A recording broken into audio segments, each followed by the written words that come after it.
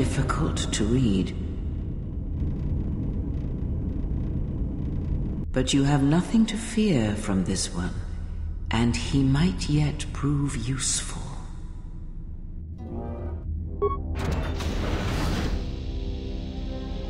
Nice outfit.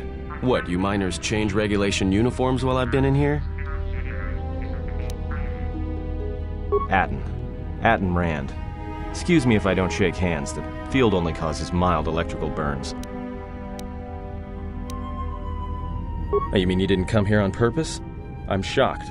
I really am. This slice of paradise is the Peragus mining facility, the only supplier of shipping grade engine fuel to this corner of the galaxy. Peragus fuel plays havoc with engines, but it gets the job done. As long as you don't mind the toxic byproducts and trying to mine it without blowing yourself up. Yeah, this asteroid belt is one giant minefield.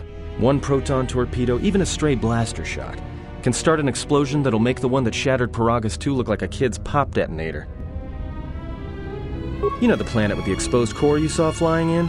That hole was caused by the first mining station that tried to siphon fuel off the planet. Blew a whole chunk out of the planet and set it drifting out here in a big clump of fuel cooled asteroids. So the miners drill the asteroids now, not the planet's surface. That's why they don't allow blasters here.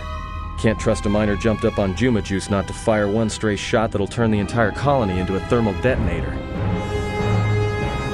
Do I look like some miner? Look, when I start shooting, I'm real careful who and what I shoot, even when I'm drinking.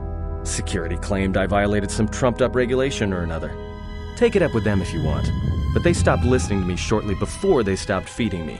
Now that's criminal. You mean before or after that Jedi showed up? Either way, it's a real short story. You see, this Jedi shows up, and you know what that means. Where there's one Jedi, the Republic will soon be crawling up your ion engine in no time. But the story gets better. See, some of the miners get it into their ferrocrete skulls that since the Jedi's unconscious, they can collect the bounty the exchange has posted for live Jedi. Well, what passes for the law here didn't like that idea. So the two groups started fighting. Then there was some big explosion. I was sitting here for a long time. Then you showed up in your underwear and things got a lot better. The Exchange is a big crime outfit, mostly operate out of Nar Shaddaa. Spice running, gun trafficking, slave trading.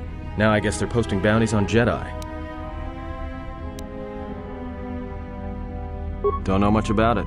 Maybe the Exchange wants one as a trophy, or somebody's got something against Jedi and is looking to collect. Not many Jedi left. Wouldn't surprise me if the bounty's pretty high. The ones that weren't killed in the Jedi Civil War ended up switching off the lightsabers long ago. Word is there's not even a Jedi Council anymore, but who knows?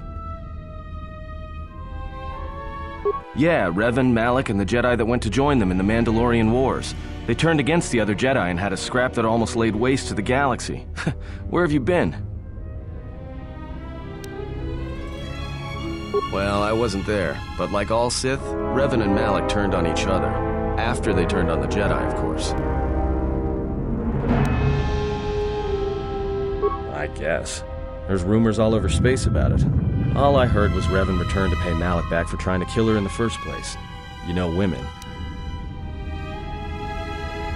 Well, I wasn't there, thankfully. But I heard what she was like during the Mandalorian Wars, and it sounded like she was quick to wipe out anyone who crossed her. Dark Jedi are bad enough. But when a woman falls to the dark side, you better space yourself before they catch you. Uh, no offense or anything. Look, not like your half naked interrogation isn't a personal fantasy of mine, but. Hey, wait a minute. You're that Jedi the miners were talking about. Where is everybody? The miners can't all be gone. But if they are, look, hey, let me out and I can help you. I can. I've gotten out of trouble countless times. This facility isn't a military installation, which means we may have a chance. You shut down the cell security field, and I can reroute the emergency system so we can get to the hangars. We grab a ship, and then we fly out of here. Huh? What are you talking about? So, you done interrogating me, or are we gonna work together and try to get out of this mess?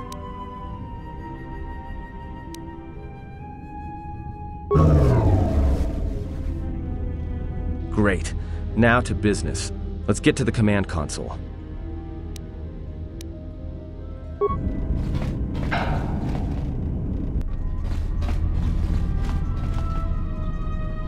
Alright, here we are. Now this console is set on automatic hail. You may have heard it when you came in. The asteroid drift charts are constantly being updated, so it sends out a transmission to incoming vessels so they don't get crushed into space dust. The hail warns them to keep their distance until orbital drift charts are transmitted, and then provides docking instructions to incoming ships, usually freighters.